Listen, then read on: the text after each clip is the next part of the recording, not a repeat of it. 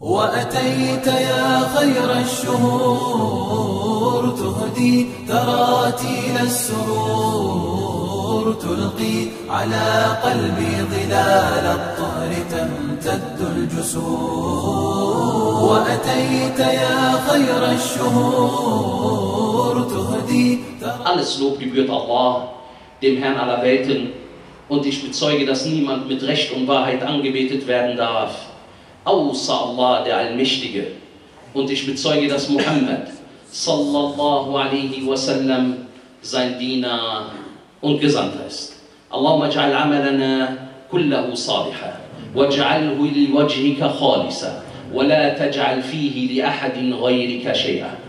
Liebe Geschwister im Islam, eine wunderschöne Reihe über die Geschichten der Propheten. Qasas al-Anbiya. Allah subhanahu wa ta'ala hat in seinem edlen Koran uns nicht nur Gebote und Verbote bestimmt, sondern er hat uns auch Geschichten erzählt von den früheren Propheten, die zu ihren Völkern entsandt wurden. Propheten, die Menschen waren von der Natur. Aber Allah Azza wa Jal hat sie auserwählt, um die gewaltigste Aufgabe zu erfüllen, die Menschheit von der Finsternis zum Licht zu rufen. Und wie viele Menschen sind in der Finsternis und sie haben bei weitem noch nicht das Licht erblickt. Andere aber, liebe Geschwister, haben die Finsternis verlassen und sind jetzt nur noch auf dem Weg des Lichts. Allahumma thabbitna ala din al-haq ya Rabbal Alamin. Liebe Geschwister im Islam, eine Geschichte von einem großartigen Propheten. Nachdem wir die Geschichte von Adam wassalam sehr ausführlich erzählt haben, werden wir uns heute dem ersten Gesandten Allahs zuwenden. Ein Gesandter Allahs und der erste und er gehört zu den fünf besten unter den Gesandten Allahs. Azza wa Jal. Der erste, der entsandt wurde, war Nuh alaihi salatu wassalam. Der zweite Gesandte unter den besten Gesandten ist Abraham Ibrahim alaihi salatu wassalam. Der dritte ist Moses Musa alaihi salatu wassalam. Der vierte ist Jesus Isa alaihi salatu wassalam. Und der Siegel aller Propheten ist Muhammad sallallahu alaihi wasallam. Mit ihm hat die Botschaft geendet. Das heißt, er musste etwas ganz Besonderes sogar im Vergleich zu den früheren Propheten gewesen sein. Warum? Weil er der letzte aller Gesandten ist. Er wurde geschickt mit dieser Botschaft, den Menschen die letzte Botschaft zu überbringen. Allah subhanahu wa ta'ala, nachdem wir auch vorher die Geschichte von Adam wassalam erzählt haben, hat die Menschen erschaffen, indem sie als natürliche Veranlagung nur den Islam verinnerlichen. Jeder Mensch wird mit dem Islam geboren. Das ist Qawlun Nabi sallallahu alaihi wasallam Die Aussage von dem besten aller Gesandten. Er sagte, Kullu mauludin yuladu ala al-fitra. Jedes Kind wird als Muslim geboren. Allahu Akbar. Jedes Kind wird als Muslim geboren. Das ist die natürliche Veranlagung, der natürliche Glaube von einem jeden Kind. Wie kommen dann Kuffar zustande? Hört, was der Prophet Muhammad sallallahu alaihi wasallam sagte. فَأَبَوَاهُ Yuhawidani wa yunassirani. Aber ihre Eltern, und sie haben den höchsten, den größten Einfluss auf die Kinder, sie machen sie zu Juden und zu Christen und zu Feueranbeter. Dadurch kommen sie vom Weg des Islam ab. Warum hat der Prophet sallallahu alaihi wasallam nicht gesagt, wa yuslimani und sie machen sie zu Muslimen? Nein, weil der Islam die natürliche Religion ist. Sie machen sie zu Juden, zu Christen und zu Feueranbetern, weil sie sie vom Islam abdriften gelassen haben. Und daher ist die natürliche Veranlagung von einem jeden Menschen, dass er nichts anderes als ein Muslim ist. Allahumma la tumitna illa wa anta anna. Das ist der Islam. Das heißt, jeder Mensch wird mit diesem Islam geboren. Fitrat Allah, allati fatara nas alayha. Das ist die natürliche Veranlagung der Islam, die Allah Azza wa Jal seinen Dienern mitgegeben hat. Und wir haben alle schon bezeugt vor Allah Azza wa Jal. dass wir niemand anderen anbeten werden außer Allah. قال الله عز وجل ألست بربكم قالوا بلى Allah hat zu der Menschheit gesprochen, zu den Nachfahren von Adam wassalam. Er sagte zu ihnen, indem er ihre gesamten Seelen ausbreiten gelassen hat, bevor sie überhaupt auf dieser Welt existiert haben. Er sagte, bin ich nicht euer Herr? Sie sagten, doch.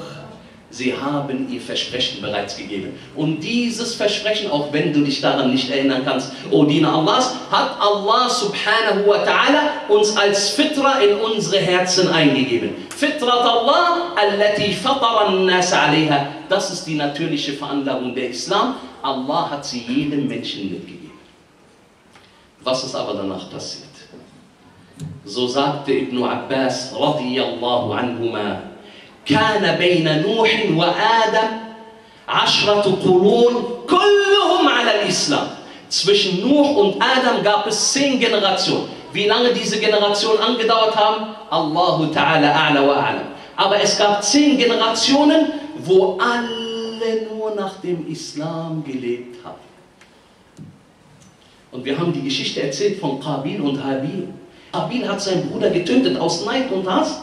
Aber trotzdem waren diese Leute auf dem Tawhid. Aber danach, nach diesen Generationen, zehn Generationen später, fingen die Leute an, vom geraden Weg abzuweichen. So sagte Ibn Abbas weiter, radiallahu anhuma, فاختلفوا. So haben sie angefangen, sich zu unterscheiden. Das heißt, sie haben angefangen, etwas anderes anzubeten außer Allah subhanahu wa ta'ala. فَبَعَثَ اللَّهُ النَّبِيِّينَ مُبَشِّرِينَ وَمُنذِرِينَ So hat Allah azza wa jal ihnen die Propheten gesandt als Frohboten und auch als Warner. Allah azza wa jal, er ist barmherzig. Und obwohl jemand, wenn er etwas anderes anbetet, außer Allah, und es ist nur das Recht, Allah Azza wa Jal einzig und alleine anzubeten, so könnte Allah diese Völker sofort vernichten. Innahu ala kulli shay'in qadir. Allah hat zu allem die Macht. Aber hört, was Allah in seinem edlen Koran sagt. Er sagt subhanahu wa ta'ala, وَمَا كُنَّا مُعَذِّبِينَ حَتَّى نَبْعَثَ رَسُولًا Wir werden niemals jemanden eher bestrafen, bis wir zu ihm einen Gesandten entsandt haben. Ganz gleich, wenn er auch die übelste aller Sünden macht, den Schirk, dass jemand neben Allah etwas anderes anbetet, trotzdem wird Allah ihn erstmal die Aufklärung durch einen Gesandten schicken, bevor er dieses Volk vernichtet. Rahim, Rahim, Wallahi al-Azim, wer ist barmherziger als unser Herr? Überlege, Odina Allahs. Und ich möchte nur, dass du dir ein menschliches Bild vorstellst. Stell dir vor, eine Mutter bringt ein Kind zur Welt. Und sie zieht es auf, bis das Kind 18 Jahre alt ist. Dann sagt dieses Kind zu einer anderen Mutter, Mama. Wie wird sich die Mutter fühlen? Und Allah gehört das höchste Beispiel. Wir vergleichen nicht Aber schau, wenn das im Leben schon eine unerträgliche Situation ist, wie ist das? Allah subhanahu wa ta'ala, er erschafft und jemand anderem wird gedient. ذَلِكَ بِأَنَّ اللَّهَ هُوَ الْحَقُّ وَأَنَّ مَا يَدْعُونَ مِن دُونِهِ هُوَ الْبَاطِلُ Und dieses, weil, weil Allah die Wahrheit ist, die absolute Wahrheit. Subhanallah.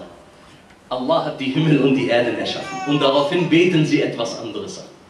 Wenn du sie fragst, das, was ihr anbetet, hat das die Himmel und die Erde erschaffen? Sie werden dir mit Yaqin, mit Gewissheit sagen, La. Kalla. Aber daraufhin betet er trotzdem etwas anderes an außer Allah. Dieses, was du anbetet, hat das jemanden zum Leben gebracht oder wird das jemanden den Tod bringen? Er sagt, Kalla. Nein, keineswegs und trotzdem betet er etwas anderes an außer Allah. Dieses, weil es kranke Herzen gibt, weil es Herzen sind, in denen La ilaha illallah nicht hereinpasst. Denn La ilaha illallah ist nur für die gläubigen Diener Allahs, die sich unterwerfen, die Allah lieben, die den Tawhid lieben, die bereit sind für den Tawhid alles zu tun. Das sind gläubige Herzen. Allahumma ja'alna minhum ya Rabbal Alamin. Liebe Geschwister, Nuh alayhi salatu wassalam wurde entsandt. Warum? Weil diese Leute nach zehn Generationen angefangen haben, den Schirk zu praktizieren. Wie? Wie kommen Leute nach zehn Generationen darauf, den Schirk zu praktizieren? Durch Iblis, der Satan. Schaut, wie er den Schirk in die Herzen der Menschen hereingebracht hat. Er kam zu ihnen und sagte, es gibt so viele Rechtschaffene im Volk unter euch. Und Allah erwähnt sie, Allah subhanahu wa ta'ala sagt, لا تذرن ودا ولا سواع ولا يغوث ويعوق ونسرا وقد أضلوا كثيرا ولا تزد الظالمين إلا ضلالا Die Kuffar, sie haben angefangen, etwas anderes anzubeten außer Allah.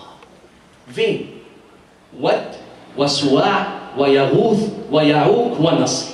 Das waren rechtschaffene Leute, die unter ihnen gelebt haben.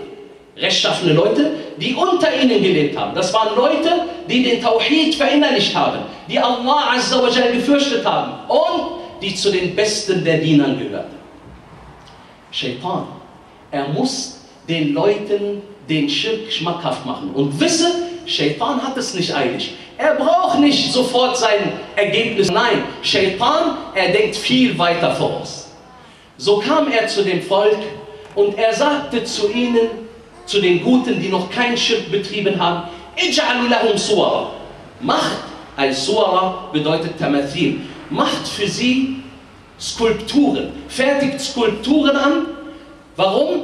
Er sagte zu ihnen, Kullama ra'aytumuha dhakartumuha. Jedes Mal, wenn ihr diese Skulpturen anschaut, dann erinnert ihr euch an diese rechtschaffenen Leute. Subhanallah. Schau, diese hinterlistige Tat von Iblis. Lanatullah.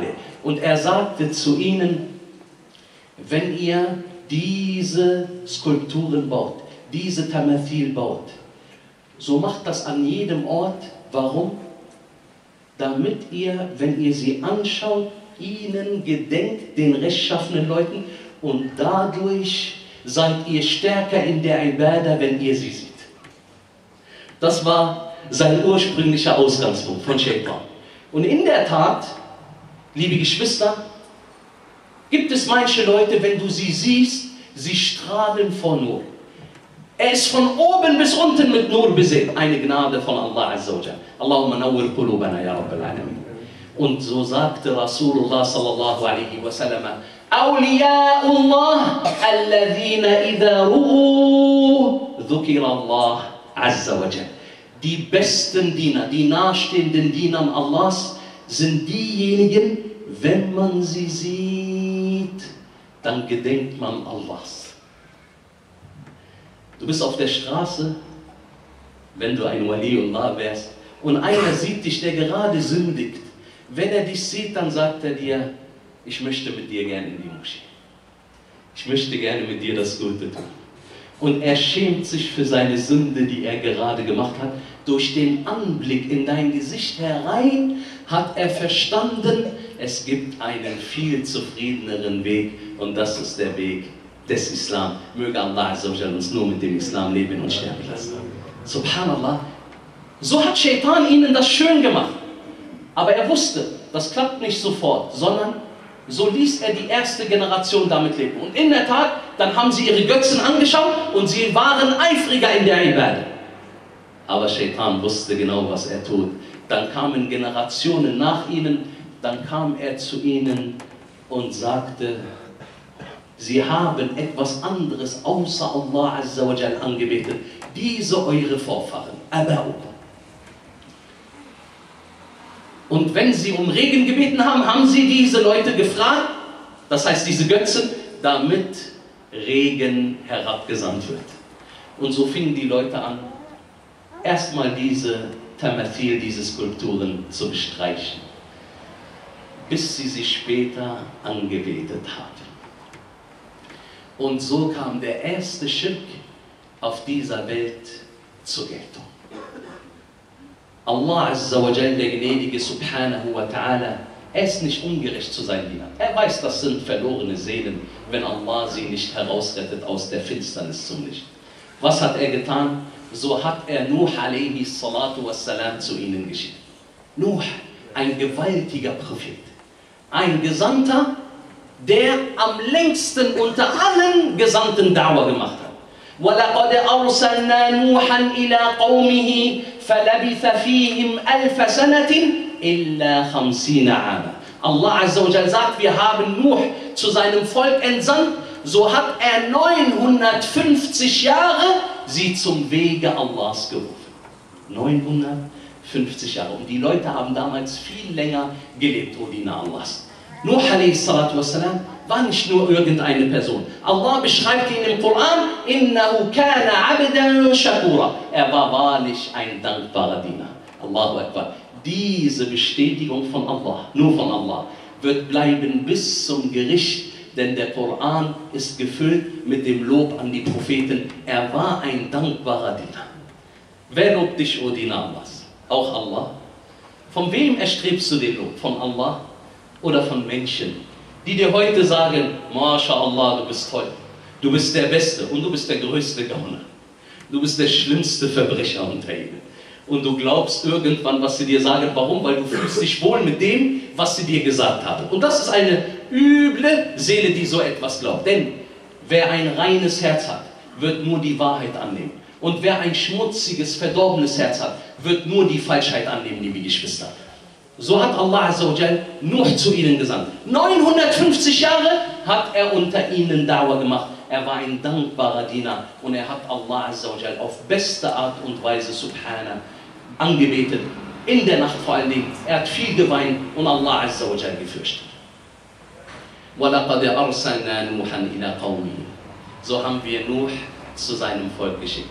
إِنَّا أَرْسَلْنَا نُوحًا إِلَى قَوْمِهِ أن أنذر قومك من قبل أن يأتيهم عذاب أليم. Wir haben Nuh zu seinem Volk geschickt, entsandt, damit er sie warnt vor einer strengen Strafe. قال يا قوم إني لكم نذير مبين أن اعبدوا الله واتقوه وأطيعون يغفر لكم من ذنوبكم ويؤخركم إلى أجل مسمى. Er sagte zu ihnen, Ich bin als Gesandter zu euch geschickt worden, um euch zu warnen. Und jetzt schaut den Uslub, die Art und Weise, wie ein Prophet Dauer macht. Er sagte zu ihnen, ich bin zu euch als Warner entsandt worden. So dient Allah und fürchtet ihn.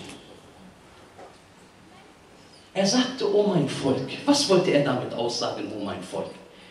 Ich bin einer von euch, wollt ihr nicht meine annehmen? Ich gehöre zu euch. Ich komme nicht zu euch als jemand, der auf euch herabsieht von oben. Ich komme nicht zu euch und ich weiß nicht, wer ihr seid. Ich kenne eure Sprache nicht. Ich kenne eure Tradition nicht, wie in der heutigen Zeit. So gibt es Leute, die haben vielleicht auch eine gute Absicht, aber du siehst sie, der geht in irgendein Land, weder versteht er die Sprache des Landes, weder versteht er die Traditionen, er kennt nicht einmal die Leute und er will diese Leute zu Dauer rufen. Und Allah Azzawajal, immer wenn er die Propheten geschickt hat, hat er sie aus dem eigenen Volk geschickt. Warum? Sie kannten ihr Volk am besten. Sie wussten, wie ihr Volk denkt. Und deswegen waren sie ihnen am nächsten. Aber subhanallah, wir haben Leute in der heutigen Zeit, der geht nach Pakistan und er weiß nicht mal, wie Pakistan geschrieben wird. Und dann will er Dauer machen und will die Leute zum Guten rufen und er weiß nicht, der Ärmste, wie überhaupt die Dauer richtig funktioniert. Ja, Qaum, inni lakum nadhirun mubin. Ich bin euch ein deutlicher Warner. An wa. So dient Allah Azza wa Jal. Und fürchtet ihn fürchtet ihn auf eine geziemende Art und Weise. Wenn ihr Allah nicht fürchtet, wen wollt ihr fürchten?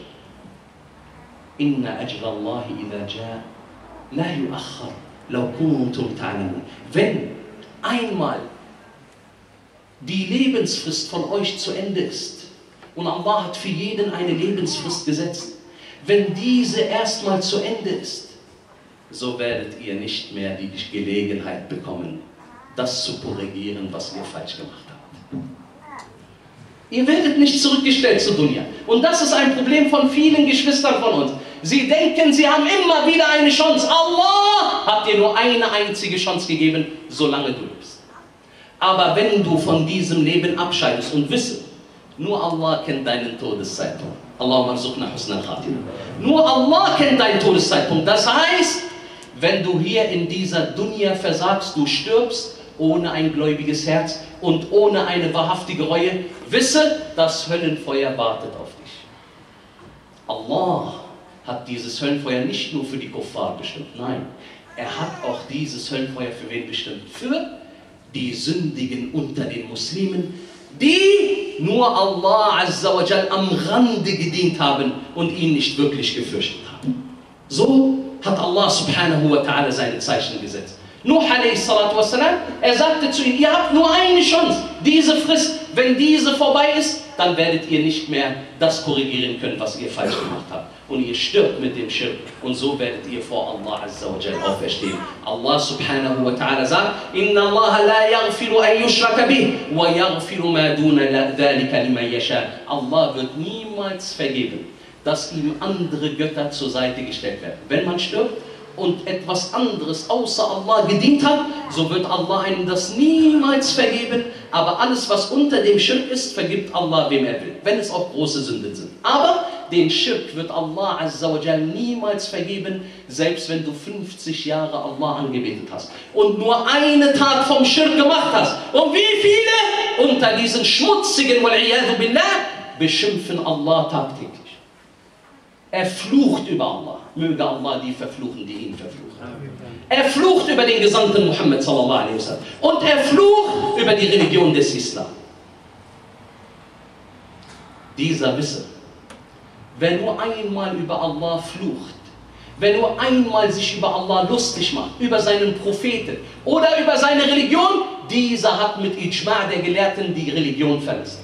قل أبالله وآياتي ورسوله كنتم تستهزئون لا تعتذروا لا تعتذروا قد كفرتم بعد إيمانكم Sprich, macht ihr euch lustig über Allah und über seine Zeichen, über seine Verse und über seinen Gesandten. Entschuldigt euch heute nicht. Höre zu, ihr seid Kuffar geworden. Waren sie vorher nie Muslime? Nachdem ihr vorher Muslime gewesen seid. Allah hat das bestimmt. Ihr seid Kuffar geworden. Wie?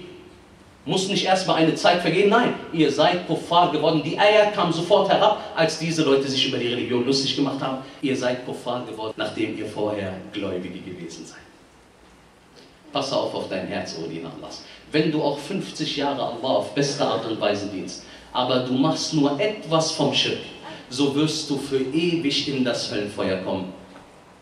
لئن أشركت ليحبطن عملك ولتكونن من الخاسرين und wenn du neben Allah etwas anderem dienst so werden alle deine Taten gelöscht seien sie auch 50 oder 60 Jahre gewesen und du gehörst wahrlich zu den Verlierern, sagt Allah im Koran zu Habibullah, zu Muhammad, sallallahu alaihi wasallam. Was denkst du dann mit mir und dir?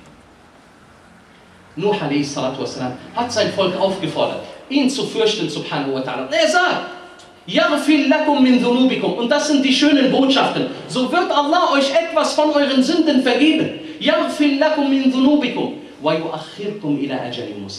Und ihr werdet dann noch so lange leben in dieser Dunya, so lange wie Allah Azza wa das geschrieben hat. Inna ajal Allah idha ja'a la yu'akhar, law kuntum ta'lamun. Wenn aber die Frist einmal eingesetzt ist, so könnt ihr nicht mehr zurückkehren zur Dunya. Das ist unsere einzige Chance, liebe Geschwister dass wir Allah Azza wa dienen, bis zu uns das Ende kommt. So diene deinem Herrn, bis zu dir die Wahrheit kommt. Das ist unsere einzige Chance, weil wenn der Todesengel auf dich herabkommt, so wirst du nicht mehr sagen, ja Allah, ich bitte dich um Vergebung, ich habe falsch gelebt, sondern schicke mich zurück zur Dunya, höre, was Allah, der Allmächtige Subhanahu sagt. Er sagt, حتى إذا جاء أحدهم الموت قال رب ارجعون لعلي أعمل صالحا فيما تركت كلا Und wenn dann zu jemand von ihnen der Tod kommt, ein Mensch ist dabei zu sterben und der Todesengel kommt gerade herunter, so sagt er, oh mein Herr, stelle mich zurück. Das heißt, schicke mich zurück zu Dunya. Warum? Warum will er zurück zu Dunya? Um nochmal seine Freundin zu besuchen, um nochmal eine Packung Drogen zu verkaufen, um nochmal ungerecht zu seinen Eltern zu sein? Nein, stelle mich zurück, ja Allah, damit ich einmal von dem Gutes tun kann, was ich zuvor unterlassen habe. Allah ist barmherzig, aber er hat Regeln. Wird Allah ihn zurückstellen? Höre die Antwort: Kalla, innaha kalimatun, huwa qailuha, wa min waraihim barzakhun, ila yawmi yub'athun. Keineswegs wird er zurückgestellt. Der Lügner, denn wenn ich ihn zurückstelle, hat Allah uns an einer anderen Stelle gesagt, dann wird er wieder genau dieselben Taten begehen. Überlebt. Er steht vor Allah, er hat das Höllenfeuer in sich und er sagt ja, Allah stelle mich zurück, aber Allah sagt uns, wenn er diesen Käfer auch zurückstellen würde, dieser würde dieselbigen Taten wieder machen, nachdem er die Wahrheit gesehen hat. Allahu Akbar. Wisst ihr jetzt, warum Allah sie Kuffar genannt hat? Allahumma la taj'alna min al-kafirin, ya Rabbil Alamin. Weil das Leute sind, die kranke Herzen haben. Kranke Herzen haben. Keineswegs. Du wirst nicht zurückgehen zu Dunya. Und Allah hat dieses Gesetz so beschrieben. Du hast nur eine Chance. Entweder bereust du bei Allah und kehrst in Reue, reuig zu ihm zurück, oder du wirst etwas erleben, was du niemanden wünschst, O die Namas. Nuh a.s hat weiter mit ihnen gesprochen. Schaut mal, was sie zu ihm gesagt haben als Antwort. وقال ملأ من قومه إنا لنراك في ضلال مبين die Großen unter dem Volk, das heißt die, die angesehen waren, sie sagten zu Nuh a.s. wir denken, du bist im deutlichen Irrtum. Er sagte, Ich bin nicht irre gegangen. Vielmehr bin ich ein Gesandter vom Allah, dem Herrn der Weltenbewohner. Das sind die Herzen der Kuffar. Ein Gesandter kommt zu ihnen. Und sie wissen, dass er ein Gesandter ist. Und sie sagen zu ihm, zu diesem Gesandten, du bist im Irrtum. Bitte erinnert euch an diese Zeit. Denn wisset, der Koran ist nicht nur für ein bestimmtes Volk, nein, er ist für alle Völker, für alle Zeiten, für alle Menschen. Heutzutage, wenn wir die Leute zum Guten rufen, dann sagen sie, schaut mal, diese Leute, die sind in die Irre gegangen. Keiner folgt ihnen. Keiner will mit ihnen zu tun haben. Das sind Leute, die versagt haben im Leben. Hören wir die Ayah, was Allah Azza wa Jal sagt.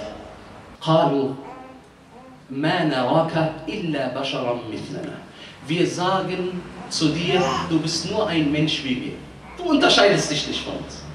Du unterscheidest dich nicht von uns. Du bist nur ein Mensch. Wenn Allah jemand Besonderes schicken wollte, hätte er einen Engel geschickt. Schaut mal, subhanallah. Diese Uqul, diese Leute, die nichts verstehen. Warum?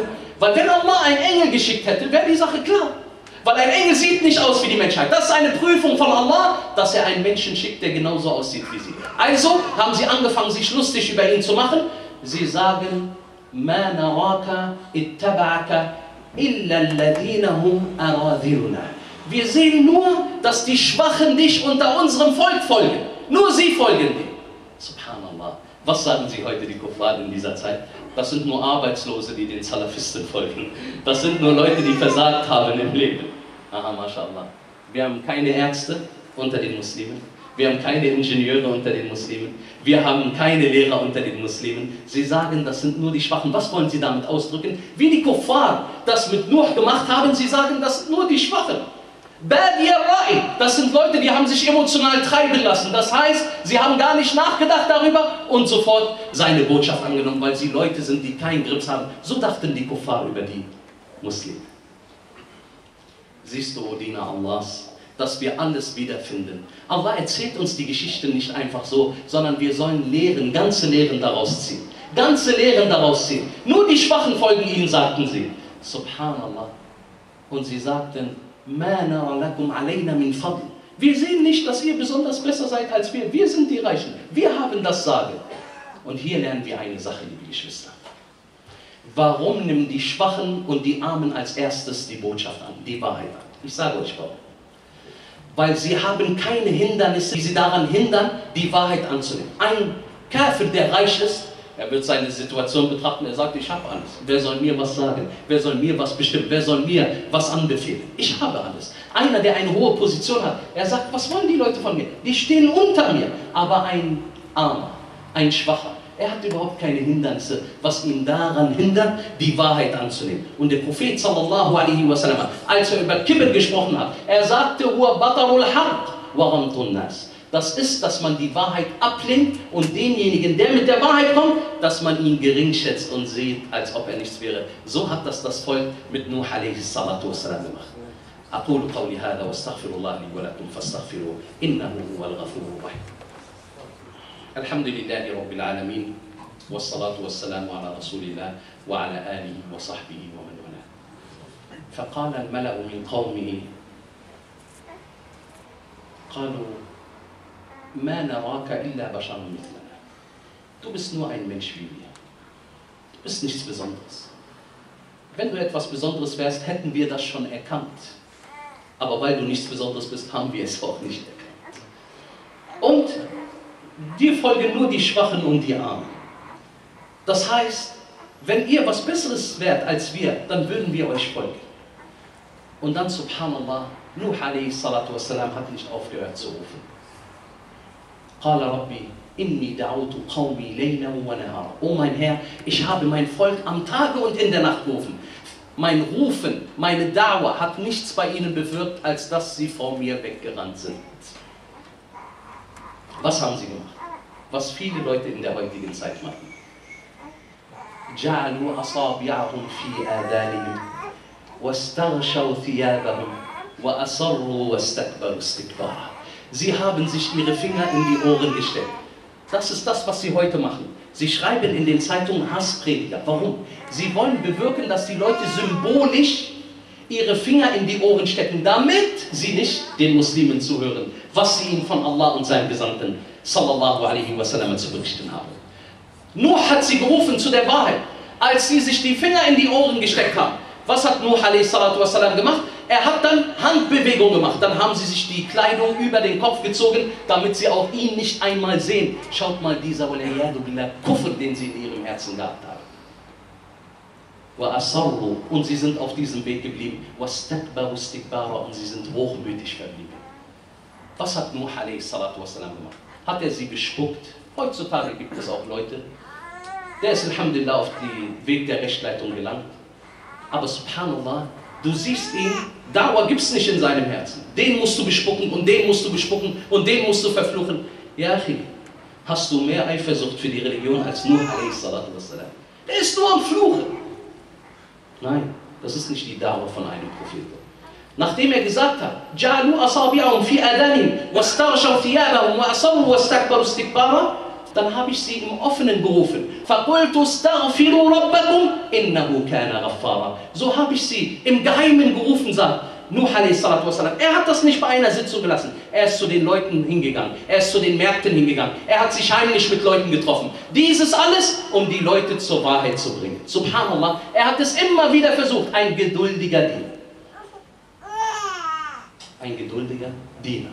Und dann sagte er ihnen, bittet Allah um Vergebung, denn wahrlich Allah Azza wa Jal, er wird euch vergeben.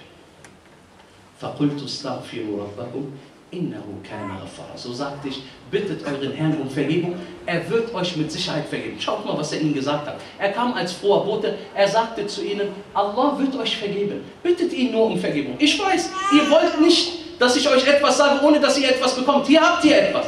Hier habt ihr eine schöne Sache von Allah. Wenn ihr ihn um Vergebung bittet, wird er euch auch vergeben. فقلت استغفروا ربكم إنه كان غفارا يرسل السماء عليكم مدرارا ويمددكم بأموال وبنين ويجعل لكم جنات ويجعل لكم أنهارا Wenn ihr ihn um Vergebung bittet, was wird er machen? Er wird den Regen herabsenden und er wird euch mit Kindern und mit Vermögen stärken, subhanahu wa ta'ala. Aber er hat es nicht nur bei den Vorteilen bei der Dunya belassen und er wird euch Paradiesgärten geben. Allahu Akbar. Was willst du mehr als ein Lohn von diesem großartigen Propheten, der mit der Botschaft von Allah Azza wa kommt? Er hat ihnen versprochen, ihr werdet das Beste bekommen, wenn ihr euch doch nur an das Gebot Allahs hält und ihr aufhört, etwas zu dienen, was euch weder schaden noch nützen kann. Überlegt, sie haben diese Götzen mit der eigenen Hand hergestellt und sie daraufhin angebetet. Ist das nicht wahr? Ist das nicht Irrtum, liebe Geschwister? Sie sind besser als ihre Götzen. Und er hat seine Götzen angebetet. Das sind nur Götzen, denen ihr Namen gegeben habt. Leute, der hat irgendwas geschnitzt, dann hat er gesagt, das ist ein Gott, das ist ein Gott, das ist ein Gott. Bis er das fünfmal, hundertmal gesagt hat, irgendwann hat er diesen falschen Gott angebetet. Krankheit, Mord. Allahumma aslih hadi Umma, ya. So wird Allah euch mit Kindern und mit Vermögen stärken. Und er wird euch Paradiesgärten geben. Das ist die Botschaft, die ich euch übersende, liebe Geschwister. Dass ihr versteht, nur Allah ist in der Lage, uns in dieser Dunya zu geben, was wir von ihm möchten, subhanahu wa ta'ala. Aber wisse, es kommt der Zeitpunkt, wo du sterben wirst. Und dann wird Allah dich abrechnen, so wie du auch in dieser Dunya gelebt hast. Und wenn du nicht das getan hast, was Allah dir befohlen hat, so wirst du unter den Verlierern sein. Denn Nuh a.s. hat nicht nur zu seinen Leuten gesagt, kommt her, ich rufe euch zum Guten. Nein, er hat sie auch gewarnt. Was ist mit euch los, dass ihr Allah nicht als gewaltig seht? Wisst ihr nicht, dass er euch vernichten kann? Wisst ihr nicht, dass er der Allstärkste ist? Möge Allah unseren Geschwistern in Indonesien einen Ausweg verschaffen und ihnen helfen. Und ich möchte euch nur eine Sache sagen, liebe Geschwister. An dem Tag, an dem dieser Tsunami passiert ist, und das ist nicht der erste, wie ihr wisst, vor einigen Jahren, wenn ich mich erinnere, vor zehn Jahren oder zwölf Jahren war schon mal ein Tsunami, wo 200.000 Leute einfach so überschwemmt wurden. Wallahi, sie wurden im Wasser, im Wasser verbrannt von Allah. Überlegt mal, die Strafe des Ertrinkens, die Strafe des Verbrennens, die Strafe des Erstickens.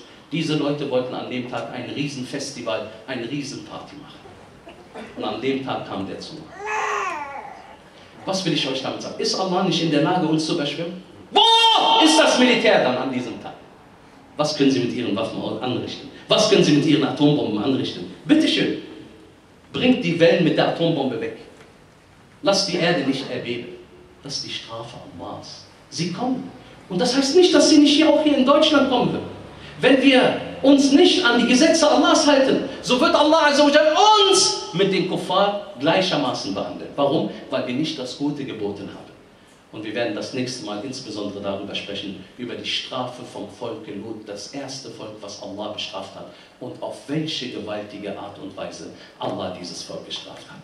اللهم إني أسألك بأسمائك الحسنى وصفاتك العليا في هذه اللحظة الطيبة المباركة أن تغفر لنا ذنوبنا دقها وجلها أولها وآخرها علانيتها وسرها لا إله إلا أنت سبحانك إني كنت من الظالمين اللهم اغفر لنا الذنوب التي تنزل النقم والتي تنزل البلاء والتي تقطع الرجاء والتي تحبس الدعاء يا رب العالمين. اللهم ارزقنا قبل الموت توبة وعند الموت شهادة وبعد الموت جنة ونعيما وآخر دعوانا الحمد